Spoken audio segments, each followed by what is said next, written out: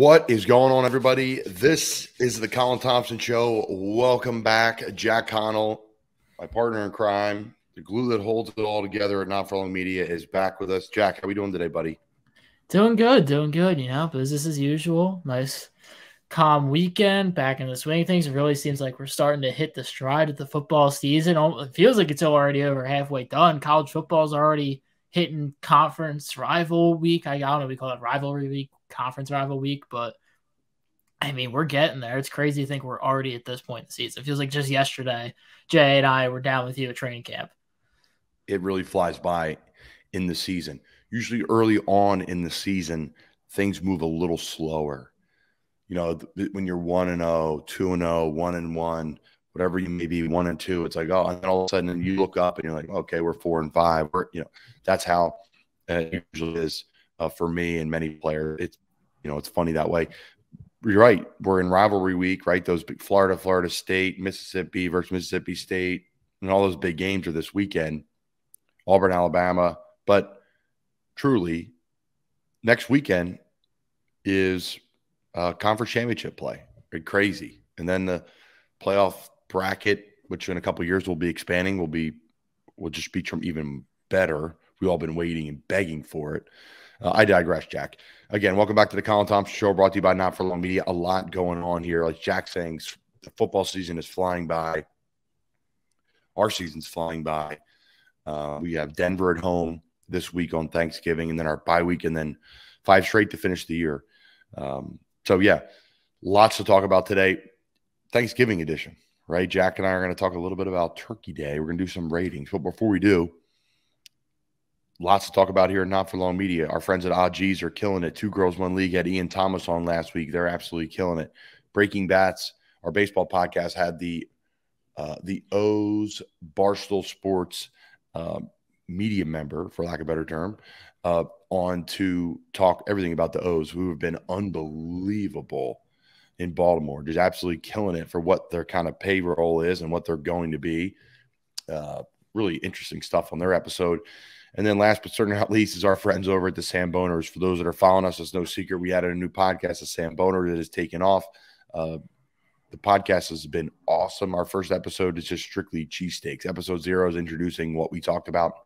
Episode one, cheesesteaks. Episode two, Tony Luke's coming on. Episode three, we have people like Kyle Pagan and the grill guy. And we're going to talk chicken cheesesteak and pork sandwiches and cutlets. It's fun. It's a blast. You can sambone anything, folks, whether you're drinking, whether you're eating.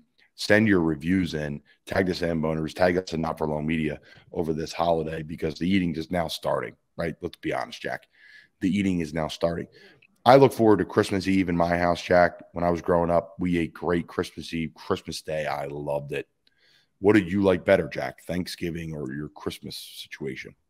I'm all Christmas. Christmas was just better all the way around. I'm not, I mean, food wise, I have to give the leg to Thanksgiving. Overall festivities is Christmas. I'm not a big ham person. I, I mean, like I eat ham. It's just like, like it's it's not that like I don't dislike. It's not terrible, but I'm not like other people who like love ham and will eat it with like everything with pizza or whatever. I'm big turkey. I really like turkey, so I get I got to give the leg food wise to Thanksgiving on that one. It's a shocker that you like turkey, Jack. White or dark meat? White. Oh my god, Jack, your palate. You just eat it plain. Well, what do you mean, like on Thanksgiving or like in general? You put gravy on it. Yeah. Okay. Okay. Okay. I mean, nice. it's a nice like left. This is a one I, I, I thought it was normal, but I've been called crazy for it. Like leftovers, like the day or two after, like put like a nice turkey sandwich with like some mayo or something, like salt, pepper. Like that's pretty good. Like in my opinion, like a leftover. Oh, we're, yeah. we're gonna we're gonna get into that in a second. I was just curious to see. Yeah, you you would say you love white. You just love white plain turkey, but we'll we'll get into that later. Lots of discuss. Lots of discuss. All right, Jack.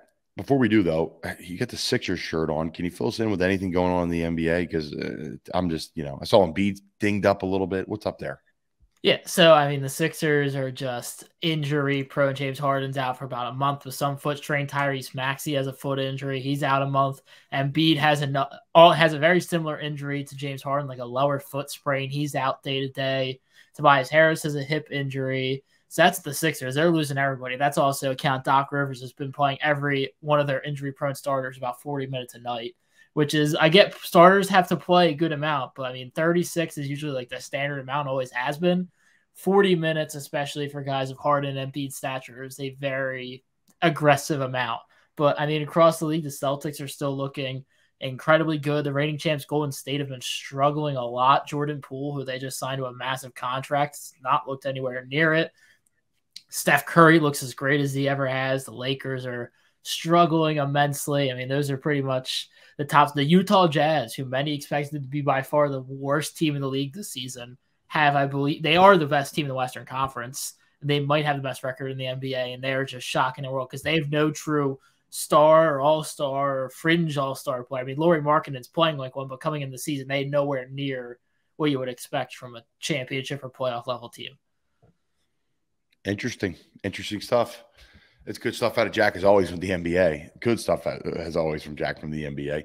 Uh, I figured, you know, we have some NBA fans that follow the show, so I figured we talk a little bit about that. Okay, I digressed, and that's enough of the NBA chatter. So, guys, we always start this with Bus One, and I Bus One members they get a box of fudge, right? They get a box of fudge. It's the holidays, man. I love the freaking fudge. There's so many different flavors. I, I, hate to pick one. I really do because every time I go in there, I try something different, a little sample here, a little sample there. And just the quality of fudge brings through every single flavor. And also, there's so many different flavors. Like some places master, like, hey, you know, you go somewhere, you get the cheesesteak, or you go somewhere and you get this type of fudge. No, the original fudge kitchen's got every flavor. And the best part about it is the rest of their sweet treats they have chocolate covered pretzels, homemade peanut butter cups, chocolate covered strawberries, unbelievable. All the candies, and then they ship it across the country. The fudge, the uh, the sweet treats, and the saltwater taffy. FudgeKitchens.com.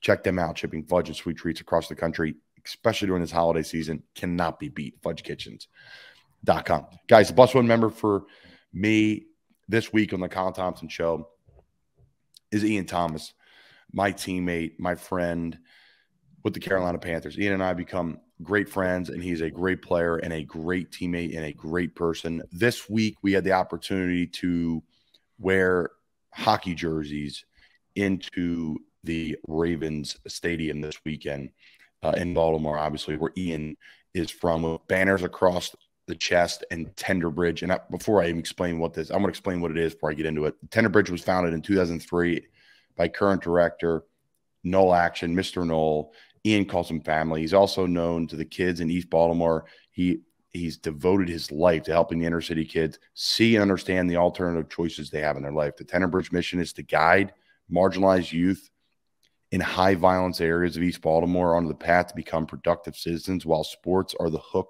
that keep are often difficult to engage kids involved. Building trusted relationships with their coach and mentor produces profound growth to their journey in adulthood. They play sports, primarily hockey, raise tons of money, um, football, baseball, sailing. Uh, they're managed by third parties while other programs are run by the Tender Bridge itself.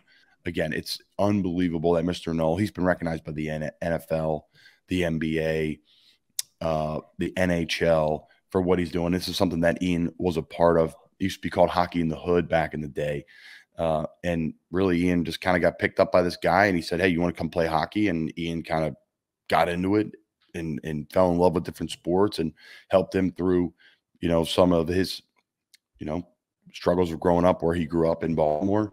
Um, Ian is one of the best tight ends in the NFL, well rounded, one of the best blocking tight ends in the NFL, and had a great game in his hometown in Baltimore. Again, he's a family he had all his family at the game in Baltimore. It was tremendous 20, 30, 40 feet people there. I think he had, he we had 12 people on the sideline for, for my group pregame. And it was like really just like kind of a big group of Ian, his family, a smaller group of my family and friends. Um, Bozeman had a good crew there. He played in Baltimore. His wife was there. So, Bus One member this week for the Colin Thompson show is Ian Thomas. Again, he had a huge family conglomerate there. He was a captain for the game. We got to wear the banners Tenderbridge jerseys into the game. He got all of us hooked up with our custom jerseys, name and number on the back. So, any way you can support the Tenderbridge, we'll be donating here at Not for Long Media. City and I will personally be donating as well. any way you can help support the Tender Bridge, a link will be in our bio.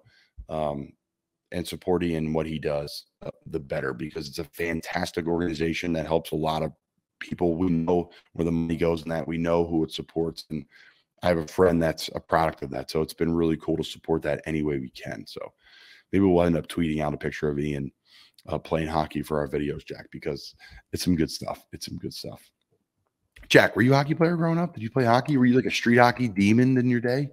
I did like street hockey. I liked playing defense street hockey. I always wanted to play hockey, but I mean, this might come as a shock to you. I have like no center of balance, and hockey is expensive for kids, man. Like I've had like people I know who like older like kids play hockey or they played hockey. It is expensive. So between my really not good skating skills and just how I was just I stuck with football. But I mean, I really I enjoyed playing street hockey growing up and playing NHL video games and all that stuff. Great video game, tremendous video game. Yeah, I played growing up and I absolutely loved it. It was uh, a great sport. Really, really is a great sport. I love it. As everybody knows on this show, I'm an NHL fan. So, guys, quickly, another Bus One member this week brought to you by the original Fudge Kitchen. I was doing a little prep for the show today, Jack Shocker. And uh, Blake Martinez former NFL linebacker, just retired this year. Signed a nice ticket with the Giants a couple years ago. Played for uh, the Packers. Played at Stanford. He sold a Pokemon card, six hundred and seventy-two thousand dollars. Jack, did you see that? I did see that. I saw that was very. I, I saw like a little bit of it. like he like stumbled upon. Did he stumble upon it? Did he like not know what it was, or was he an active card person? I was trying to read a little bit into it, but it was essentially that he yeah, he went home, right? Did the whole, hey mom, give me my Pokemon cards as a kid, and they and they were gone, right? Mom threw them out. So I think he got into the trading aspect and he had a little money to leverage. And I think he bought a couple groups of cards, and one of the cards in there was worth six hundred seventy-two thousand dollars. So good for Blake. I mean, that's a hell of a retirement present for himself. 672, pretty good day at the office. Yeah, pretty much. What are you doing with that 672, Jack? Not Jack right now. I'm talking about like, yeah, or sure, Jack right now. What are you doing with that 672,000, Jack? Oh, first goes to loans first off. Probably put nice down payment. Maybe get some nice, don't little Jack Suite, new Jack Mobile. I would imagine. Just set myself up with the basics on a high level. I would so imagine a house, a car, and pay off loans. Probably, yeah. Just just the the normal. Maybe buy myself a box of fudge from Fudge Kitchen. Ah. Uh, the harmless plug there from Jack, fudgekitchens.com. Shipping budget, sweet treats across the country. All right. I digress. I digress. I digress. Under the bus, have to throw some people under the bus, right? Brought to you by Mi Amiche, the best Italian food in the Charlotte area. It's Monday night, Jack. I can't go tonight. I'm kind of bummed. Sydney's out of town. I'm looking for a place to grab a bite deep by myself. I want to go to Mi Amiche. It's that good.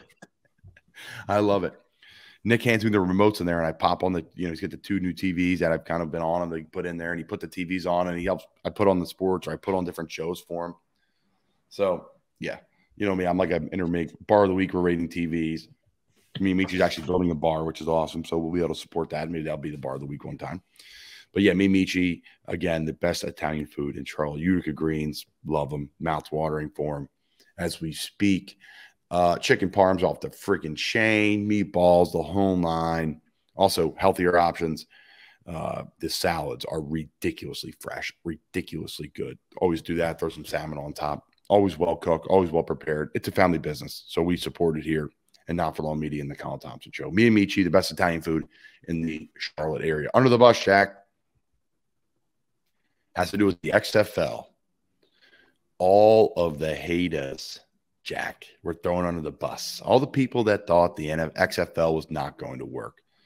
It is going to work. It is going to continue to work. This is XFL 3.0.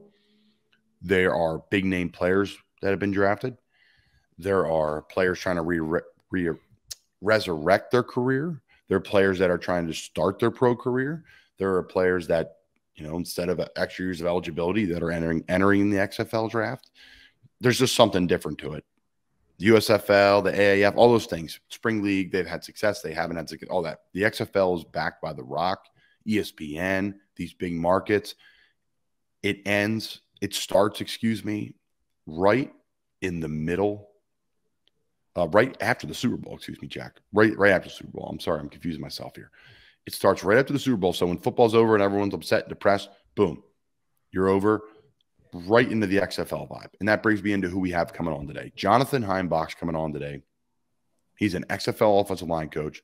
He works with Five as One, his own personal company. That's tremendous, working with youth, developing offensive linemen. That's what he does best. Wait till you see this guy's resume. You'll hear me run through it uh, in this interview. Himey was my XFL coach in the XFL and is a great, great, great guy, great coach, uh, great father, and just has a ridiculous resume. And he has bounced around. He's been a lot of places. He played at USC. He also played in the original XFL. He coached in XFL 2.0, and now he's coaching in XFL 3.0. I think he's the only person who could say that.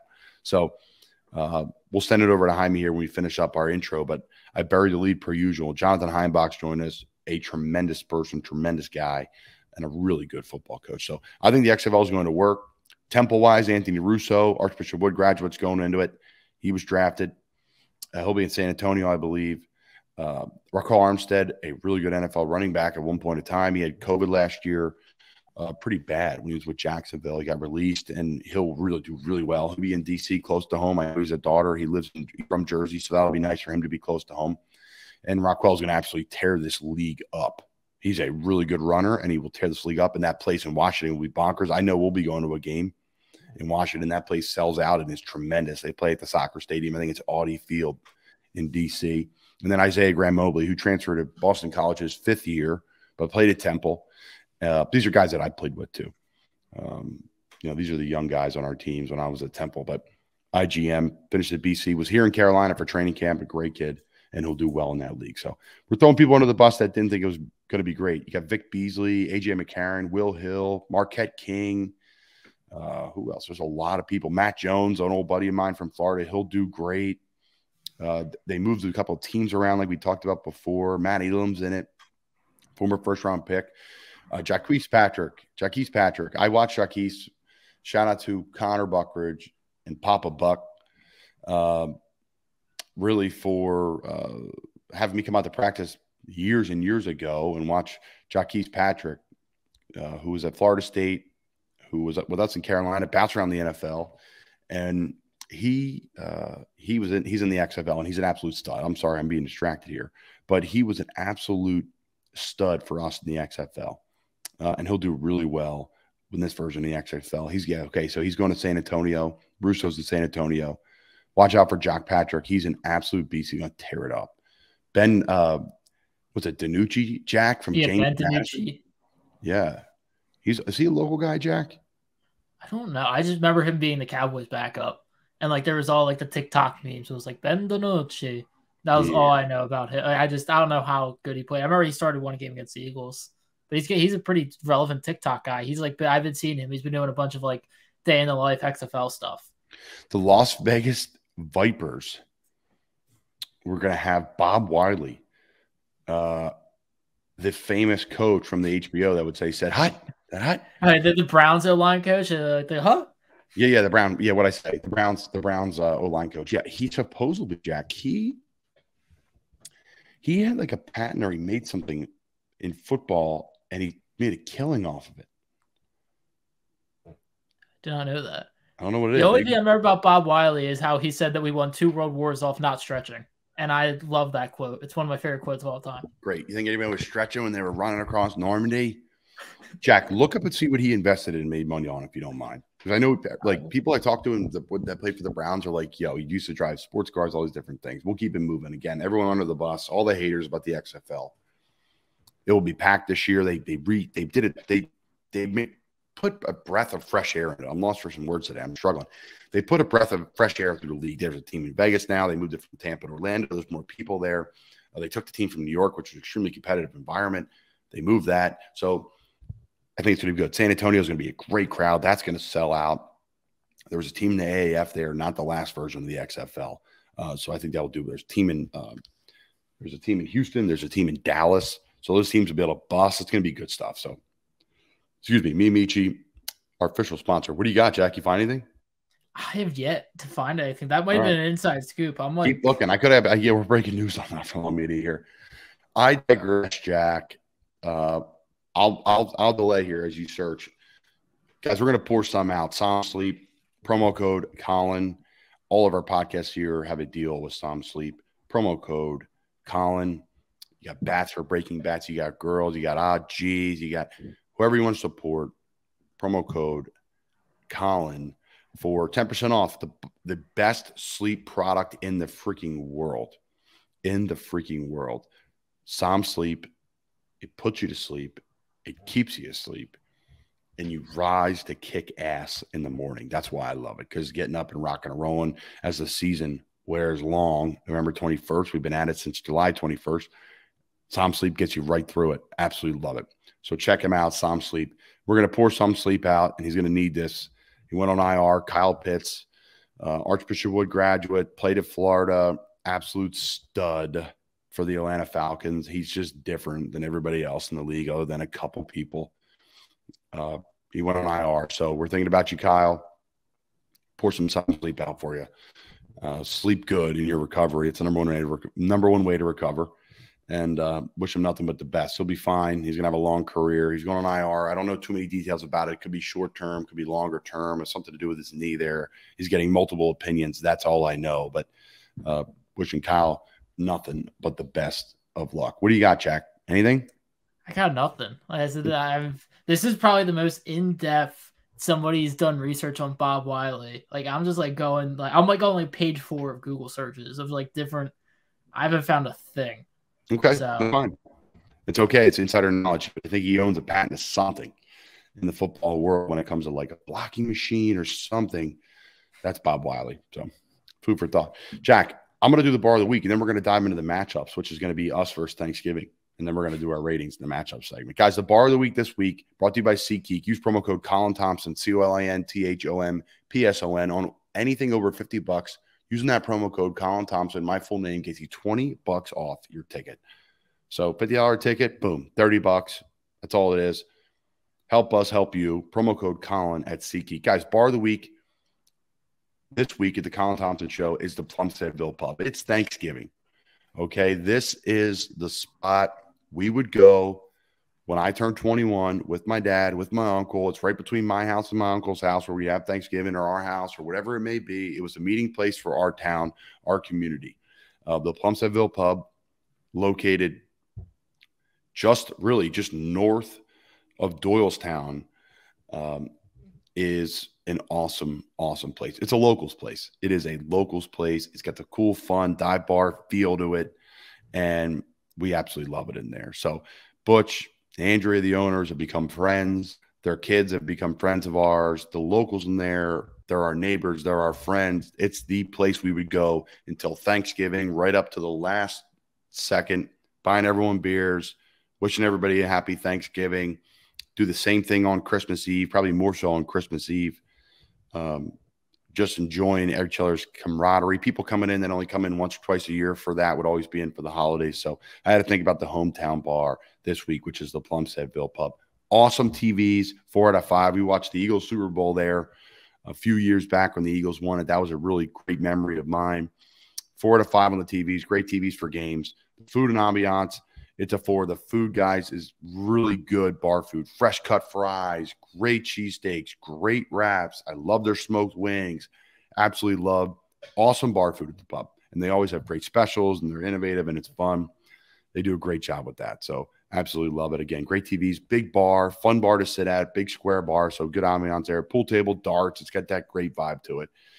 Uh, the service is great. Bartenders are awesome. Four out of five. And then the cold beer you know, very rare you're going to see this at bars, folks. And this is what makes the pub freaking absolutely killer. Is their cold beer is on ice, folks. It is on ice. It's in the ice trough, and they have the jumbo beers, the twist off aluminums. So absolutely love what they got going on there. So five out of five on the beer, four out of five on the service, food and ambiance, four out of five, and a four out of five on the TV. So a great score for the pub, 17 out of 20. The pub, Plumsteadville Pub check them out. Shout out to our friends, Actions Over Words, as well while we're at it. Again, Actions Over Words apparel dot com, always donating a piece of what they sell to a charity of choice. They do a great job there. Shout out to Alec and the Levins. Okay. Before we wrap it up and send it over to Jonathan Himebauch, perfect timing with the XFL draft this week. Unbelievable XFL. Um, coach, mentor, friend. Check him out. Five is one. Check everything he's out got going on. Okay, Jackie. The matchup this week is us versus our Thanksgiving meal. Okay, big time, Jack. Big time.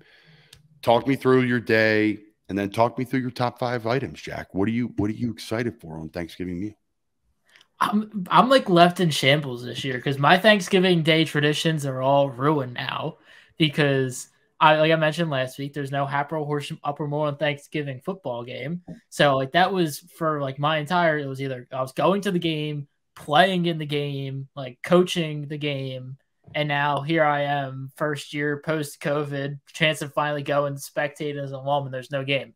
So I think it's done for good. The only one still standing to my knowledge is Pennridge Quakertown, which I do should, believe is being played this year. I was just Googling that. You should go to that game. It's tremendous. If it's it at Pennridge, I mean, they're both Quakertown. They're both not the same for me, but I'll, I'll, take it. I don't know which it's at this year, but I mean, I love. Side note, love Quakertown Stadium. Probably my favorite stadium I played in.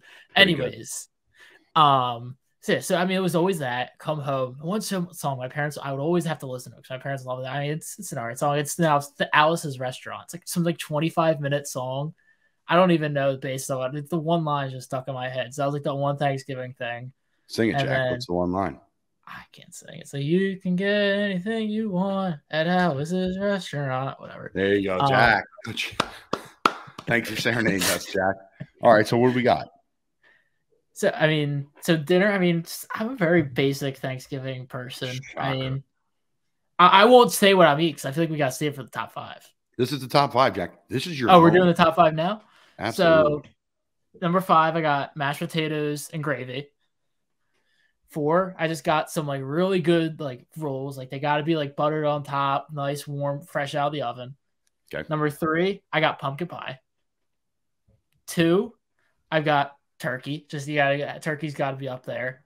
And then one, I got mac and cheese, like a nice wow. breaded, but in the oven, nice crisp, crisp crust on the top of it. Mac and cheese can't be beat. Okay. Okay. I like it. I like it. I mean, there's some really good ones there, Jack. There's some really good ones there. Okay, I'm going to give you my list. I'm going to go five. I'm going cornbread. Love it. Can't be beat. Yeah, you struck out on that one, Jack. We don't make. I like cornbread. My family doesn't make cornbread, so I didn't think of it. But I really, okay, I, I, Jack. This I think we're going to a steakhouse for dinner this year, right? If we're not at home, it's, it's a little bit of different schedule being it, you know. So I think you, you got to imagine what what would be your ideal meal, Jack.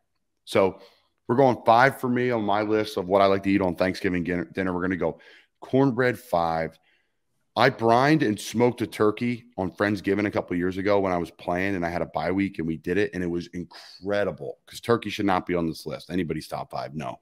But we brined it and smoked it. It was ridiculously good. The dark meat was unbelievable. So five cornbread, brine and smoked turkey comes in at four. Uh, we're gonna go regular stuffing. Really good stuffing comes in at three. I love pineapple stuffing as well. Very random, but very good. Aunt makes a really good one. Uh, let's see, stuffing. Number two, you can't beat the mac and cheese, right? And number one for me is dirty rice. Now, for the northerners, may not know what this is. My mother-in-law and my my wife's side of the family and uh, the southern folk know exactly what dirty rice is. It's a seasoned rice with a little bit of meat in there. Absolutely freaking delicious, Jack. So dirty rice. Uh, that rounds off my top five, Jack. That's the ideal meal for me. There's some other things in there, obviously no gravy in there. There's a lot of good stuff. A lot of good stuff. So, anything else, Jack, before we have to go?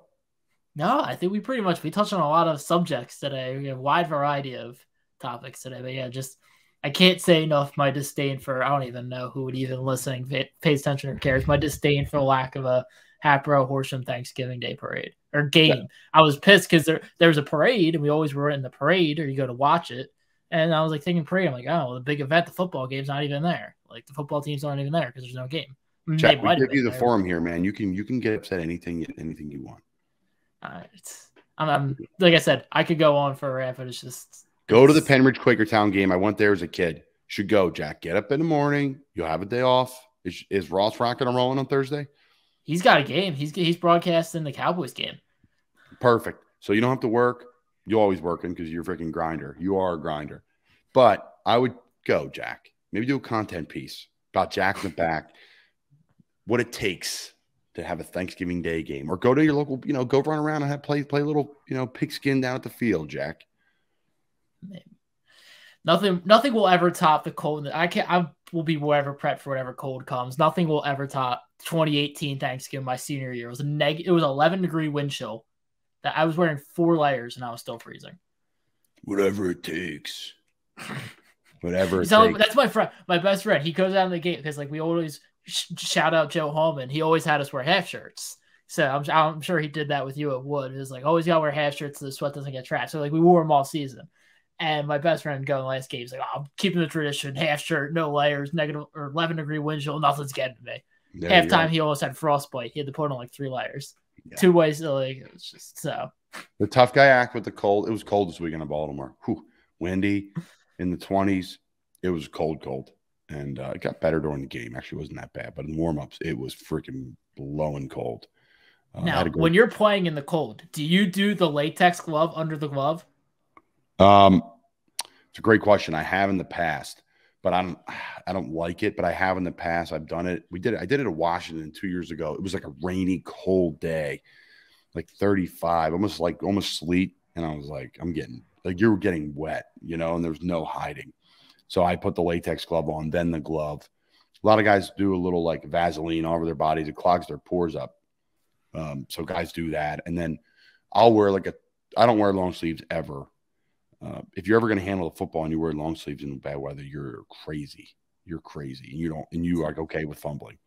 Um, uh, you got to wear the, we have like the cold weather gear, but it's a, it's pretty much sleeveless, right? So it's a old the old Under Armours we wore back in the day that everyone wore uh, that kept you warm. Yeah, it's that's that's what I wear. So got the heaters, Jack. We're spoiled in this league. We got heated seats. We got freaking.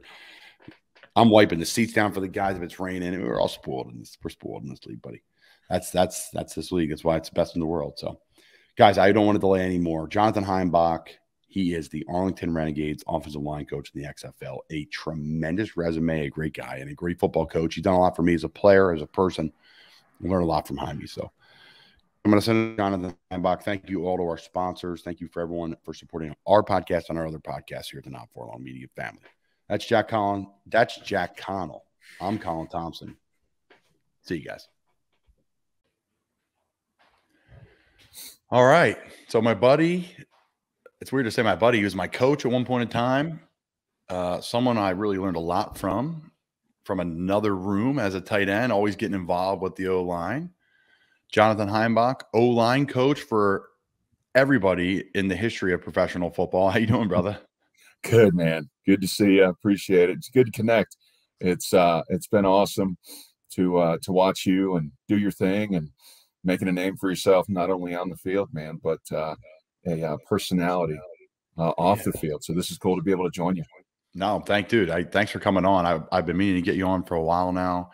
I try to have, you know, everybody who works with me on the pod, our team's like, you know, Christian McCaffrey, Baker Mayfield. I'm like, no, I don't. I we yes, we can do that, but I really like having just awesome stories on, you know, the people that have done it and have done it a different way and you doing you doing a lot of things. You got five as one going. We're going to get into that. You're coaching, you're mentoring. Before we get into any of it, though, what are you up to now currently? Well, I appreciate you bumping, you know, Christian McCaffrey and and you know Baker. Bump them out. And the boy and the fellas for you know, you know, hey, we'll get to them when we get to them. You got your priorities right. Appreciate right. it. Um, I do. Um, what am I doing? I am loving life being dad. I've got two kids, two boys, one that's a senior in high school, um, going through the recruiting process, which is pretty cool to be a dad after 25 years of coaching ball at every level. I get to just ride his coattails. So it's pretty cool. Um, we're actually going to be down in Charlotte next this coming weekend. Uh, I know you guys are on the road, um, but um, he's getting recruited by Coastal Carolina and and UNC Charlotte.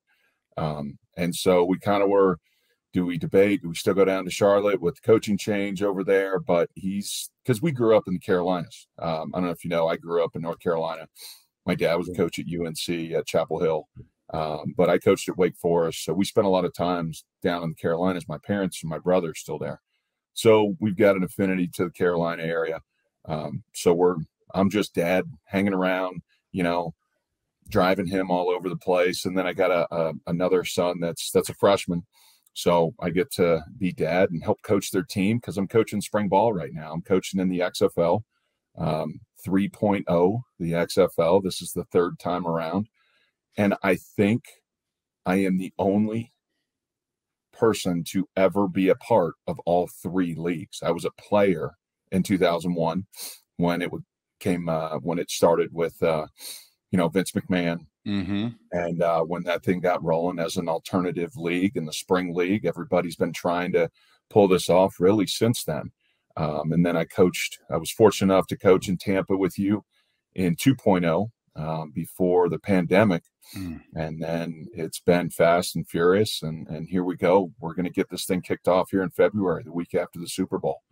And so when I'm not dad, when I'm not evaluating players, getting ready for our upcoming draft, um, I'm coaching my son's team and doing some personal training, doing some O line stuff. So it's been, you know, jack of all trades, master of none lately.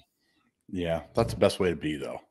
Everyone's like, you spread so thin, you do all these different things. I'm like, I don't know, I'm not really spread thin. Like, I coach high school football. I get to do this media company. You know, the playing stuff is what it is. But when I'm done playing, like the day's done, I want to do something else. I really, I'm a, I'm a, I'm a groover. I'm my mom in a way. That's my mom. She's freaking grinder. I'm not saying I'm a grinder, but I like to stay full. You know, I like my schedule to be full. I hear you. Same thing. It's like. Yeah my wife's looking at me like, okay, you're not doing the full 24 7 coaching right now. What are you going to do?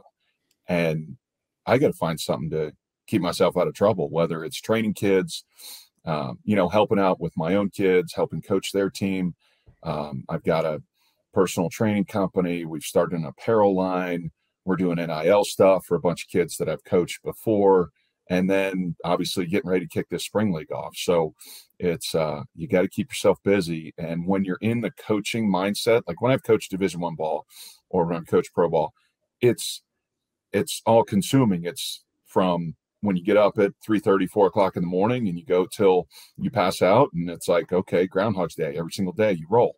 And this is an exciting time just with prepping for the XFL League with the new franchises coming out and all that stuff. There's a little bit of a buzz on the league right now, but it's every day is different. And I think that's what's cool about sports is you never quite know you're going to win one week, you're going to lose the next, you're going to, you know, players, rosters going to change, seasons are going to change. It's it's always something going on, man. And it's all for that like one moment in the locker room after the win or the bus ride home or whatever. Cause like, right.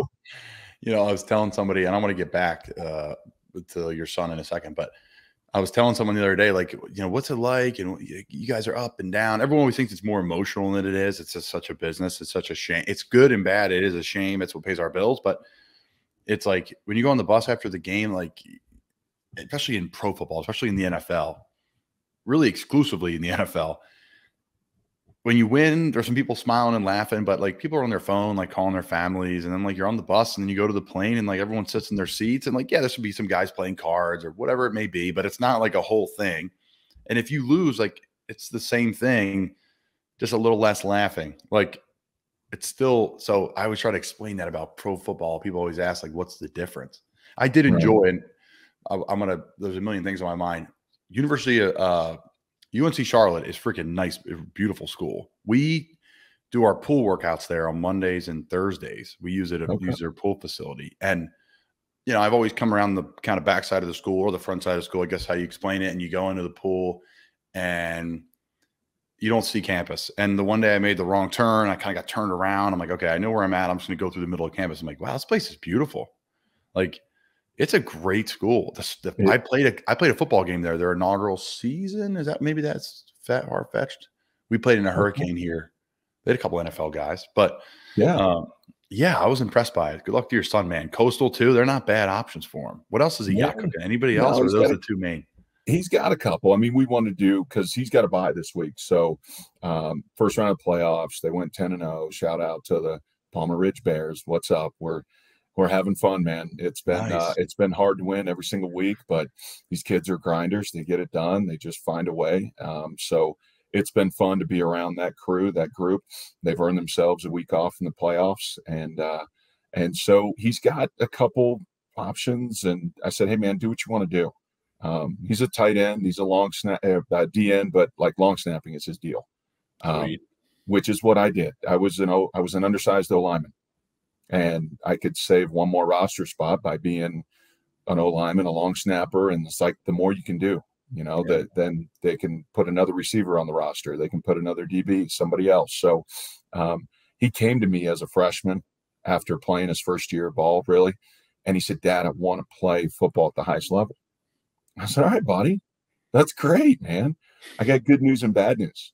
Good news is I think you can do it. I think you can play at a high level. Bad news is there's only one spot I think you can really truly do it, and that's the last stop on the on the bus, and that's long snapper.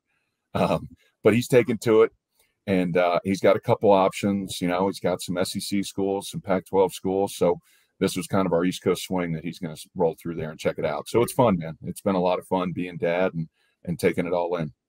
You were you know, I would say a big time recruit. You went to USC. What's the difference between your recruitment and his back in the day?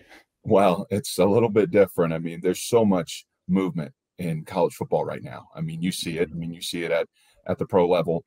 You know, guys are there. They get two, three years. And so I said, you got to pick a school. I tell them, you got to pick a school that you're okay with, that the coach is going to be gone. That, you know, yes, you want to have a coach that's going to get the most out of it. You want to be go somewhere where they believe in you and you believe in their vision but you want to be in an area in a school that you're going to get a great degree from and then what you do with it is is your choice and let football um, open some avenues and windows you know for you to make a better life but i mean the biggest thing is just everybody's trying to get the quick fix and in recruiting right now especially with just dealing with covid where rosters were impacted. Kids were coming back for their sixth years, and and it was hard for to be a parent and see that for kids. There's not many opportunities, and then the transfer portal is insane.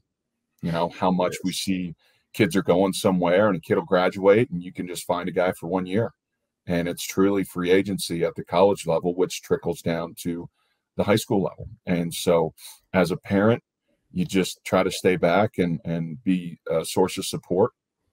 Um, but this is my industry. This is what I've done. My dad coached. I've coached for you know over 25 years, and it's just like, hey, I'm watching this process move along, and it's just accelerated so much. And I think the biggest thing that he's got a level head to say, I'm going to choose the right school that's for me, not just the biggest school out there. I mean, he's got Pac 12s and SEC, but it's like he wasn't just find the right fit for him. So it's kind of cool to just let the process roll itself through. That's great, man. That's great. You said it trickled down to the high school level. I, I get it. I went to you know private Catholic school. I was a public school kid, and I needed to change. I, I really truly believe. I think you can people look back and say Colin went there for football, and I did, but I needed to change socially too. I probably didn't realize it at the time. I just needed some more like-minded people you know, that were like, like I was telling people, like, I wasn't telling people to ask, what are you going to do when you go to? I'm like, I'm going to play in the NFL. Like, people look like you got four heads. And when I said that when I was with the Archbishop Wood, like, people still looked at me like I had maybe two heads, but it wasn't as crazy. It was like, okay, you're, you, you're here. Okay. We get it. We get what's going on. We get the vision. Like, some of my best friends of this day, they're, they never laughed at me when I said that, you know, and they were hmm. like, all right, man, go do it, you know? Right. So, how's it trickle down to the high school level? Well, yeah, I, I, had a very similar situation too. Like I was at a public school my freshman year. My brother went to that school, and they were struggling. I mean, they won like one or two games the varsity level before, and so I looked around and talked to my parents, and they said, "Hey, why don't we get a little bit of a better move academically for you, a better um, parochial all boys school?" And it was like, "Hey, I'm going to go to a winning program," and it and it helped springboard me. So I think right now what you see is kids are looking to better themselves and they're using sports to do that like we all have done you know let me let me get a better degree let me get to a better program i want to yeah. be a part of a good program which you don't have the typical i'm going to stay right in my own backyard because there's open enrollment in a lot of places and they're going to go where the opportunity is and kids are going to gravitate towards winning programs and coaching stability. And you see the the pressure of coaching in the in the pro ranks obviously. You see the pressure in coaching in the college ranks guys are getting let go after a couple years and now you're seeing it at the high school level. I mean there's there's high school coaches getting heat for not competing or not playing out of state games or not playing big profile games out there. And it's like, man, everybody needs to take a step back though and enjoy the moment at the high school level. But those that are truly driven and want to play at the next level, you got to make sacrifices.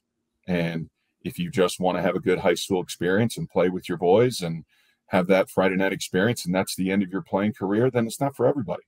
But if you truly want to make sacrifices and commit to it, and that's the thing, like when we moved, my son had to look for a new school. And so when we moved out here after the pandemic, after the XFL shut down, um, I was fortunate enough to get a job at the Air Force Academy coaching tight ends. So it was pretty cool coaching the tight ends, looking at things from outside the box, not just inside it. Mm-hmm. Uh, but he had to find a new high school. And so I said, Hey, you got to pick where you want to go.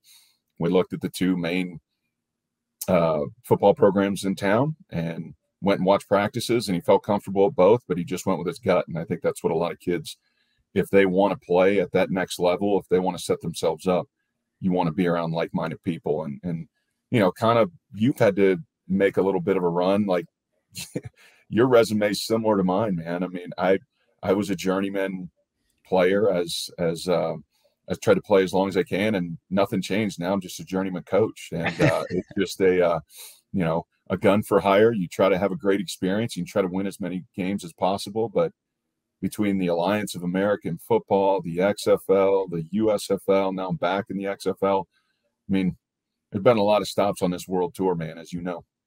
Yeah.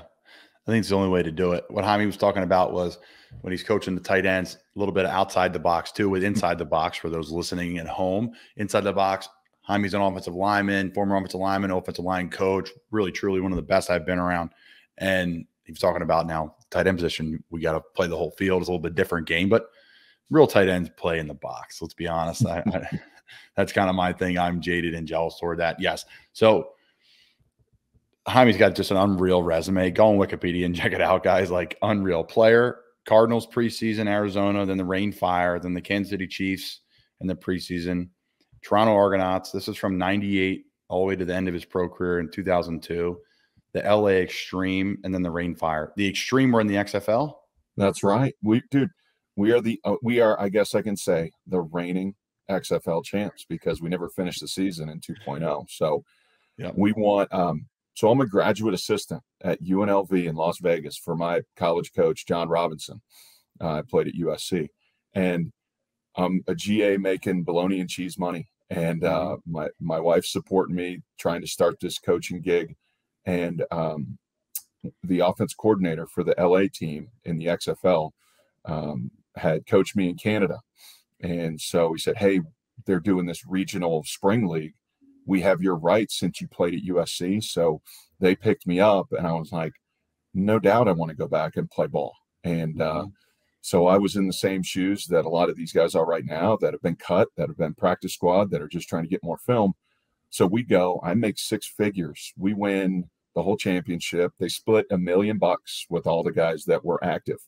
So it was good money, man. It was That's really a lot of money. money. Yeah. I mean, I was making. That's a lot of money then. Oh, now well, not that old. It's not like you know. Uh, well, I mean, yeah. let's say 2001. Right no, it was it was good. It was a good gig. I was a graduate assistant, making nothing, going to grad school, trying to get my master's in education, all that stuff. And I go back and play, and like Tommy Maddox, you probably know the name, was mm-hmm. our quarterback, was the comeback player of the year in the NFL. Came back, signed with the Steelers, had a great kind of resurgence to his career, and uh, and so got a chance to play. Was his center. You know, Tommy played at UCLA. I played at SC, so was a lot of kind of West Coast guys on our team. We won the whole thing. I go back to being a graduate assistant, did my second year, and then played in NFL Europe. Um, it was kind of the developmental league um, for the NFL. And really, since then, there hasn't been a league that's stuck. I think we were on the right track with the XFL until the pandemic hit. Um, and I'm sure we'll get more into that, man, because that was we are a, oh, an awesome experience. But man, there's been a lot of stops on this tour, but I had a blast playing in the first XFL. I mean, they they pushed it pretty hard. I mean, they they hit the wrestling, the WWE stuff, where I think people expected us to be jumping off the goalpost with like folding chairs and hitting each other, like that. That I think that's what the expectation was, And you get a bunch of guys that were just cut from NFL camps. We're just trying to get film. And all of a sudden they say, Hey, do you want to make a little bit of a personality? You can put nicknames on the back of your jersey. You can do, you know, hang out with the cheerleaders and the, uh, you know, they were trying to do a little bit more showmanship with McMahon and, you know, The Rock, who's now our owner of the league was introducing the team and they kind of had the wrestling persona on NBC. So um, I was just trying to play some ball and put some money in my pocket. And so it was uh, it was fun to play, a bunch of great dudes, and probably like you remember when we were in Tampa or the Alliance, just guys that are trying to have a blast out there and play some ball. Yeah, it, it was. Um, we'll transition to the XFL. I was really bummed. You know, I, I was I was heartbroken, I guess was the only word. I think too, we were in a really trending in the right direction as a team. We kind of sputtered in the beginning, trying to find out who we were. And then boom, we caught fire. Two of the best running backs in the league. We had mm-hmm. really a good team, great offensive line play. Uh, the corn dog, uh, Taylor Cornelius, who's been on the show before. He's up in where now? Edmonton Elks? Edmonton, yeah. Yeah. Yeah. Quarterback for the season. Yeah. I, I love playing for him with them. We just turned the corner. And I think that's what really broke. You know, we, we should have beat Houston. We end up winning a game at home. We beat DC, I think. Yeah. And then we should have beat Houston, but we were trending in the right direction. I think we make the playoffs and we contend for the championship. I my bet would be we play in the championship and who knows what happens from there. But I thought we had the right formula, the right guys. It was so much fun. I loved it. I learned a lot. I think, and I'll ask you this. I think you people always ask me about the league, right? Always like XFL.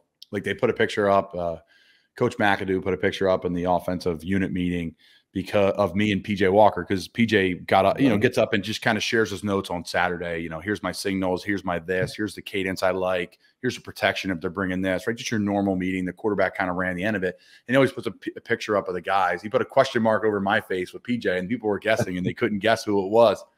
I'm like, that's right, baby, out of the mud. I don't want to hear it. You guys are, you guys forget I'm walking around here like I'm out of the mud, man. Alliance and XFL. Um, right. So you know it was funny as a picture of pj and i in training camp in houston. But uh but i digress man i was just freaking heartbroken because i i really enjoyed the league. I compare the league compared to the aaf i said aaf made more money but really there was just no backbone to it. The travel was average the food was it just wasn't all the things that you kind of take for granted as a college football player or pro football player. I thought the xfl we had you know we had breakfast and lunch for us we had a great facility we were at too in Tampa, like mm-hmm. three grass fields, like that's unheard of. We had a great outdoor weight room. We had great strength coaches. We had a lot of really good men in our building. Like I really just enjoyed going to work. I got Pete Mangurian as my tight end coach. I get to pop in the O line coach with you guys. Like it was a real true football experience. And I think if you had a lot, if you had some maturity to you, you would really get a lot out of it. Like you would really value the XFL. Like I could see guys, some guys complain about things, and I'm you could just see them like they just didn't perform that great, or they did because they're really gifted, but like the little things bothered them instead of like, yeah, it's just the XFL. Like let's just keep it moving. The showers, the water's warm in the shower. you know, like it was great. I I I love the league. We had good times with the boys going out in Tampa. We had, you know, good times practicing, and I thought the maturity that because of my lessons I learned from the AAF helped me become better in the XFL. Like I, I almost said like I'm here to play in the NFL. I know I was barely taken by the team, and Ron Selesky pounded the table for me. Thank you, Ron. He did. And and you know I ended up having a role, a good, pretty solid role and playing a lot of mm-hmm. reps as like a Y. And you know I just remember telling myself, I'm like, dude, just like get in here and focus on the NFL. Like, what does it take to be the best NFL players? Like my footwork and my you know picking everybody's brain on everything, and then after practice, I loved Mark's schedule. Like maybe the coaches didn't, but I loved it. We were mm. done by like one. Right. so I would lift for like two hours in season. Right. Like I came into training camp that year in the NFL on another level because I was, I was so, I was just strong. I was physically, you know, in great shape because I thought he gave us that time. So overall was a just unbelievable experience for me. But I do think as a player, if you have some maturity, you're going to get a lot out of it. If you don't, it can kind of eat you up and you know spit you out because if you don't, it's just the little things bother you. Yeah, no, and that's that's one of the things. Like if you go into a, a spring scenario where you're expecting it to everything to be you know the perfect situation. Hey i came from a power five program or i've been on an nfl roster. How come it's not like this? Like there wasn't much you guys needed. Excuse me. I mean we had great facility. We had a ton of of great resources available to you. And it's mm-hmm. are you going to sit there and complain about what you don't have? Because it's you've seen it. There's plenty of guys who should be on nfl rosters. Yes. And it's just the right fit the right time. You know somebody got hurt and so somebody else got another opportunity so on and so forth. And if you just go into it and say like you did i'm going to make the most of this opportunity instead of okay yeah you've got a bigger goal the goal is to play on sundays in the nfl you want to wear the shield the money's different the life is different the opportunities that are going to present itself are different but it's all part of the journey and if you utilize something like the alliance of american football to get that film no there was not enough financial backing in that league and it broke a lot of hearts. I mean, I remember I was in the middle of the Alamodome. I was coaching on the San Antonio team, and Moose Johnston, Daryl Moose Johnston, Hall of Fame fullback, he was our general manager, and I could see him. I can see him as clear as day across the Alamodome on the phone with Bill Polian, going like this: "Pick up the football. It's over. The league is done. Not one more. We're in the middle of practice."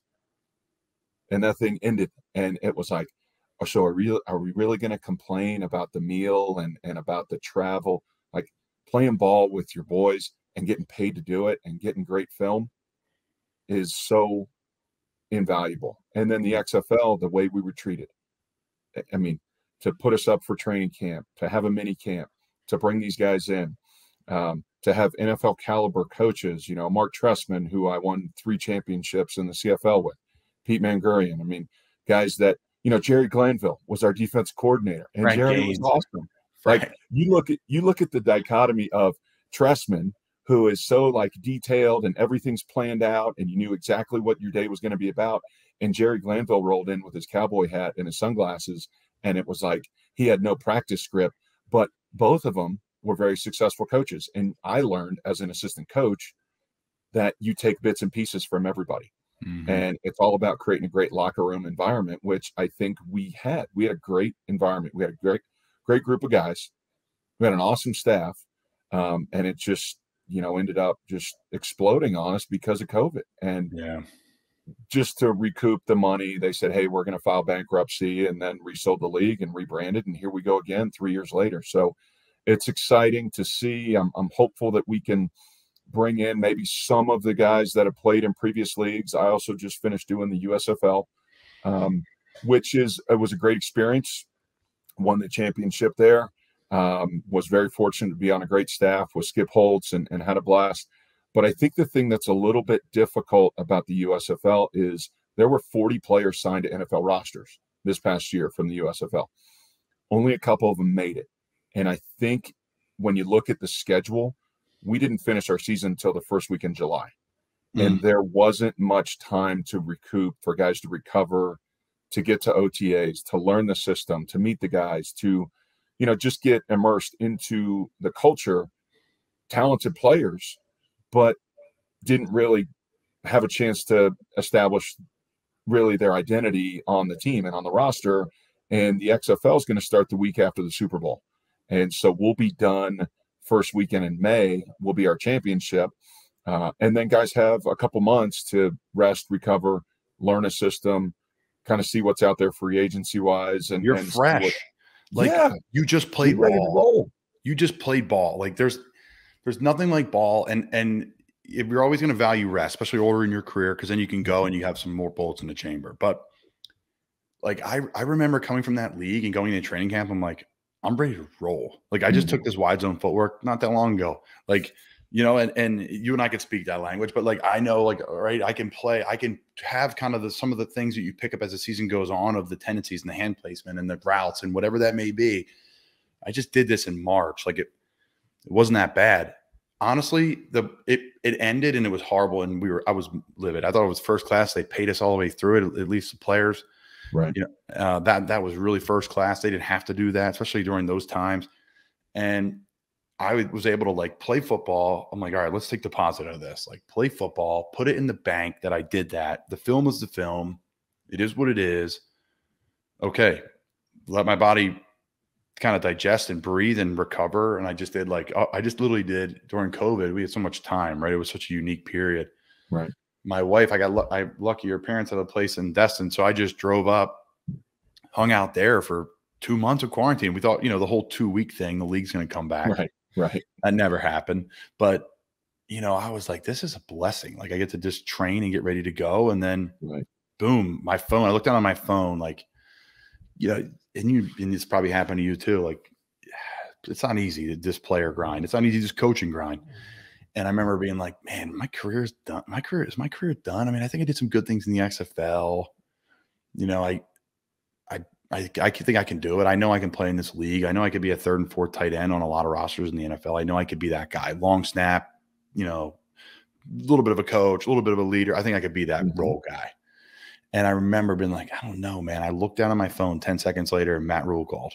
I was like, oh my God, my phone's ringing. I pick up the phone. he's like, hey, let you know we're going to bring you in after the draft. You know, I thought you were one of the best Ys, if not the best Y in the league.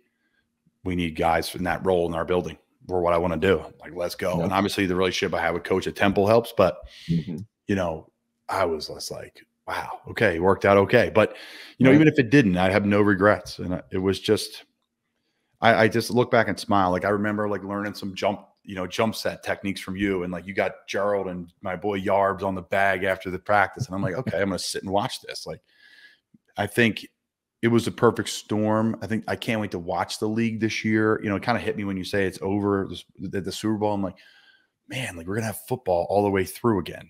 Mm-hmm. You know, and I think you're what you're saying for those at home, like it ends in April, and then OTAs start, and that's mm-hmm. when you know the NFL starts. Hopefully, I'm in this league again next year. If not, Himey, I'll come play for you in the XFL. Let's do it again, baby.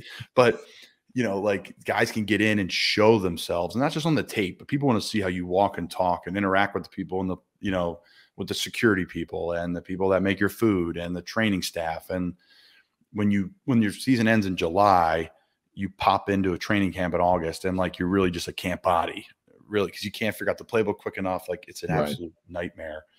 Um, there's so much digest. But what are you looking forward about 3.0? What's a little bit maybe different or what's you know going to stay the same? I think it's a lot of stay the same as as 2.0. I think we learned a lot um, in that. Um, I think it was going great. I mean, I, I think a lot of folks were watching. Um, uh, you know, a lot of TVs were, you know, were, were tuned in, and I think just the accessibility with we're now Disney, um, ESPN, ABC. There's going to be a lot of different platforms that they're going to be able to put the games on and it's i think people see how um, accessible leagues can be.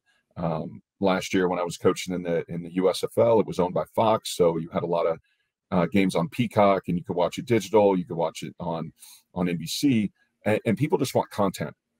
You know you, you want to be able to go to a bar hang out hey there's a game on. Oh yeah i remember that dude oh, that's Colin Thompson. I remember that guy. That's literally all I'm thinking about, Himey, is our vacations in the off season. I'm like, right. now we got something to watch. When you said that, right. that was my first thing. Like, we're going to this bar. I'm watching this game. Right. I've already visualized it.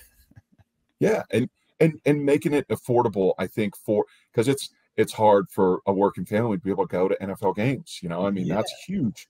I'm looking at, hey, do I want to take my kids to a game? Like, damn, that's a kick right between the legs. I got to go take the fam and parking and the whole deal. I mean, it's that's tough for the regular Joe, unless it's like, hey, I got to call this coach and hey, can I get tickets? And that's the last thing you want to do to a bunch of players and coaches when they're trying to do their job is yeah. to hustle and, and all that. Like the XFL is affordable. It's you can go watch the games for super cheap. It's guys that are playing pr- big time pro ball, and it's it's something that it's family entertainment for smaller markets. I mean, we're going to be probably in one of the bigger markets. We're going to be in Arlington, and they moved it from the Dallas franchise to Arlington. They're going to have three teams in Texas, so it'll be Dallas, Houston, and San Antonio. And I was fortunate enough to coach in San Antonio with the Alliance of American Football. I mean, the Alamodome, that thing was sold out. Um, it was, I mean, we came and played you guys in Birmingham, but man, it was teams were having to go silent count on us in in uh, in the dome. And I know St. Louis is going to do really well. They're picking up right where they left off. I think they, you know, went nuts with season tickets this past week with the announcements. Uh, they're moving a couple other franchises. They're moving the Tampa team to Orlando. Um, I think maybe stadium wise, I mean, Raymond James was cool, um, but there was a whole lot of red in that stadium, not a whole lot of green for the uh, the old hometown Vipers. Um, yeah. But love Tampa. I think though. there's, what a city. Yeah, I, th- I, think there's an appetite for it in that area. They're keeping the DC team. Uh, it's a great stadium right there at, at, Audi Field, right in DC. They moved the. Um, there's no longer a New York team. I think it was a tough market to be up there. Remember our opener that was tough to play up there. That was um, weird. Yeah. And then they moved the LA team. They're moving it to Vegas. So I think Vegas is a good market too. So um, good markets by adding uh, San Antonio, moving to Orlando, and then also being in Vegas. So I think it's smart with how they've put different markets out there. Um, some NFL markets, but also springtime. Texas is is people are crazy for for ball in Texas. So we got three franchises in in the Lone Star State. Yep. Arlington Renegades, DC Defenders. That place was crazy for those listening. Yeah. The, the, famous beer snake out of the back of the stadium. that's yep. what it's that's what it's all about. We live in Annapolis, Maryland now, so we'll definitely go to a game when you guys come to uh, right on DC. We'll go. Houston Roughnecks. Uh, obviously, PJ Walker was the quarterback there. My yep. wife went to a game there. She's from Houston. She said they sold out of beer in the first half. so that's fun. Orlando, you know, Guardian, especially with ESPN owning the league or being involved in the league, I should mm-hmm. say. Mm-hmm. Orlando makes complete sense. And like you right. said, there's an appetite for it there. I love the Tampa as a player. There was some empty games. There's a lot going on in Tampa, Clearwater area, right. especially in the springtime with spring training. You got Tampa Bay Lightning. You got a lot right. of different beach, spring break. The people aren't going to football games in, in Tampa in the spring. San Antonio, that's awesome. Yeah. what a great place. Seattle. We had to go silent Seattle. Remember, we didn't practice it. Yeah. That was I a know. nightmare. That, that was, was nightmare. that was nuts. And that's a great stadium. You know, you're playing in an NFL stadium. Yeah. It was hype. People were fired up. So I think, you know, there's some good markets. No doubt. St. Louis and then Vegas. Can't be Vegas. People are going to Vegas in the spring. Go catch a right. football game. It's an easy sell. Yeah, I remember Seattle. That's when it really hit me that I'm like, this is first class. We stayed at the JW, I think, down there. Mm-hmm. And I was like, yeah. all right, this is first class. We just flew six hours. We had food the whole time. Like yeah. they just treat us well. I enjoyed that. I, I walked into Seattle. You know, people always ask like, what stadium? You, you know, Lambeau, all these different places. And I, my first year in the league, really when I was playing the most, that first year after COVID or during COVID, I should say, all stadiums were empty. So I didn't get a feel for it. Lambeau was unbelievable. But when we went to Seattle in the XFL, I don't know. There was like so many visions of like Marshawn Lynch's touchdown run and like all these yeah. things as a kid. I was like, man, this is pretty cool. What stadium for you? You've been in so many, dude. I, before we go to that, though, I got to just run down Himey's Himey's list here. Well, I'll oh, answer oh, the no. question first. Wait, is wait, the, you're going to go down my list. This, there's not enough time on this, man. Okay, here we go. 03 to to now. Here we go. Calgary Stampede, UNLV, Harvard Westlake High School head coach, San Diego State O line, Montreal Alouettes, Wake Forest, Edmonton Eskimos, Toronto Argonauts, Nevada, Toronto Argonauts again, San Antonio Commanders, shout out to the AAF, Tampa Bay Vipers, XFL, where we met, Air Force tight end coach, Birmingham Stallions, and now Arlington Renegades. You've been in a lot of stadiums. yeah, Is man. there a, There's a lot of gray in the beard now? A lot of gray in the beard, a lot of crazy O linemen you've been coaching, I'm sure. A lot of great guys too. Is there uh a stadium in your mind that you're like, man, I love this place. This is awesome? I don't know. I mean, you kind of take personalities of, of franchises in different places. Like I spent eight years in the Canadian Football League, and they are super passionate about their ball up there. Um, you know, I was fortunate enough to win three championships up in that league, and and you know, it was really cool, like being in a place that I would have never gone to. Go to like Montreal, Quebec, Canada, and to see how much that they love their, you know, they love their franchise, they love their ball, and they're blowing horns and drinking beers and having a blast, like up on the hill right at McGill Stadium, uh, that's right attached to McGill University. Those were some awesome formative years just in my early coaching and had a blast and work with, you know, NFL caliber coaches. I mean, we had guys like Andrew Hawkins, who, you know, Hawk was on the practice roster He was on the PR, just sitting there waiting for his opportunity, running scout team over with me as the O line coach. Like, hey, coach, what do you need me to do? Do you need me to like help out on, you know, be an extra backup linebacker on, on walkthroughs? And the guy goes and kills it in the NFL. And now he's doing great for himself, um, you know, in, in broadcast. And so, you know, I love my time in the CFL. Um, stadium wise, I, I mean, I, when I was a player, probably the best place that I ever played in because I'm from Southern California, playing in the Rose Bowl. Go, you know, playing in the Coliseum at USC was phenomenal, but to play in the Rose Bowl, to win a Rose Bowl championship as a player, just kind of college football, iconic stadium right there in the San Gabriel Valley. And, you know, you can just hear like Keith Jackson's voice just talking about the, you know, college football. And, and that was special to me just growing up, playing at USC, playing there. Pro Stadium, that was awesome to be in Seattle. Um, you know, when I was with the Cardinals, we played in the in the Silverdome in Detroit. That was just kind of one of those cool places that you always see growing up and loving. Um, being in Raymond James was cool, but you know, it was a little bit different just with the the game day vibe and everything. But had a blast being able to be with the Kansas City Chiefs, Arrowhead. Most definitely has to be one of the tops on my list to, to be able to play in Arrowhead Stadium in Kansas City. That's awesome. Okay, as we wrap things up here, I got to hit you with these, and I don't really do a ton of prep for the shows because I get the I'm lucky enough to know you. So, okay, like a simple question: Who's the best offensive lineman ever, or one of you know? Give me two or three, and then who's okay. two or three that you coached that you think are some of the best ever? The guy that I that I'll say hands down was just inducted into the Pro Football Hall of Fame this year. Tony Boselli. Uh, Tony was a left tackle at SC I went into USC as a defensive lineman, and I was too small to be an O lineman. I hadn't grown yet, and you know I needed to hit that training table hard for the first mm. couple years. So I got to be scout team D lineman against Tony every single day, and I got to watch Tony Boselli and Willie McGinest at USC absolutely try to kill each other every day at practice.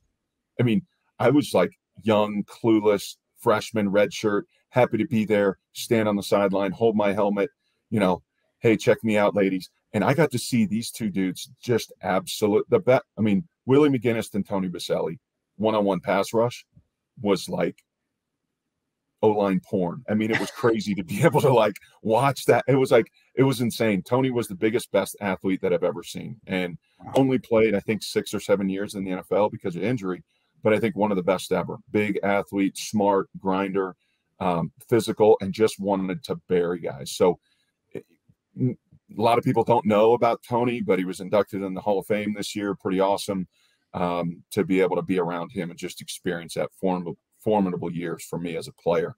Hmm. Um, I don't know as a as a, I mean, there's so many good good good guys out there, and I'm I'm more for the group, you know, and that's kind of my deal. I'm I'm about like let's put a good group together because you know you watch guys like Quenton Nelson. Dude, that guy is insane. He's one of the best guards to ever play the game. Mm-hmm. You invest that much money into him, and it's hard to see what's happening to the Colts right now, you know, just because of the instability and what's happening.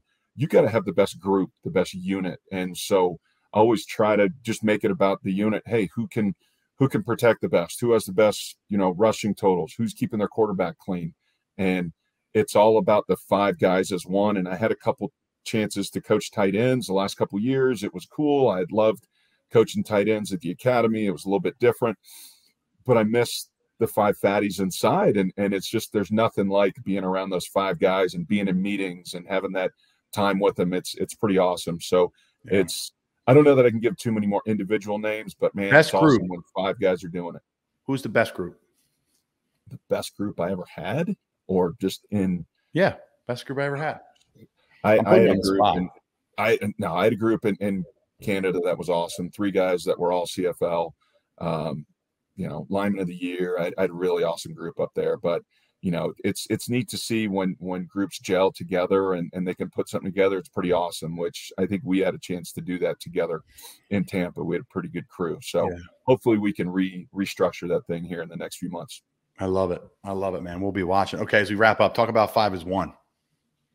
Yeah, it's it's it's something that I've done really since probably the last 10 years when I when I started coaching at Wake Forest. Um, it's kind of a mantra for the offensive line to be together. You talk about, hey, there's five O linemen, but you know the analogy of, hey, if you strike with a fist, all five fingers together, one of the strongest forces that you can strike with, and if if one guy's doing his own thing or not on board or jumps off sides, goes the wrong way, bad aiming point, the play's going to be lost. So I've tried to incorporate that into kind of a, a training O line culture, a little social media thing out there because that's such a big part. People are always looking for, you know, something new, something refreshing, and trying to give a little bit of love to the big boys. And so started training some guys, got about 10 guys that I trained, some high school and younger kids, and then doing some camps for some guys out there and just trying to make it about the unit, about the crew. And so we've got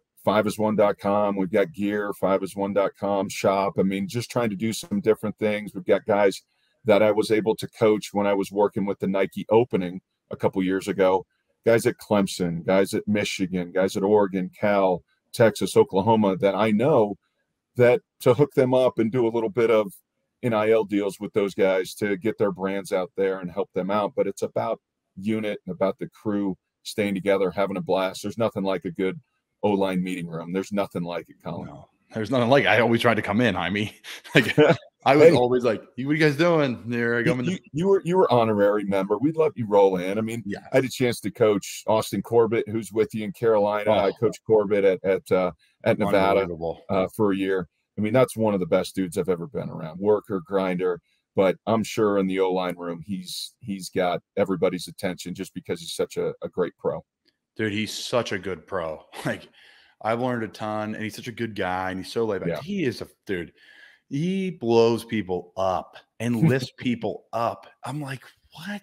So we got, yeah. I'll be, as we wrap up, I'll be honest. I saw this guy in OTAs. I'm like, ah, you know, that's why the problem with OTAs is there's value on it. it's not even real football. That's really, that's what's been my hurdle. Cause it's like, all right, you can catch the ball. He, he moves okay. Right. But, you know, he's not like knocking the hell out of someone in OTAs. Even though we know there's no pads on, we still right. grade it. And you know, then you put the pads on it, it comes alive a little bit, particularly for me. But for Corby, like I was like, who the hell is this guy? Like right. he, dude, dude, he's self-made man. Here's a walk-on, became team captain. I mean, second round draft pick. I mean, come on, that dude is exactly what you want on your on your line and in your locker room. Yeah, I mean the Rams, right? They're hurting without him. Like everybody, the guy's a stud.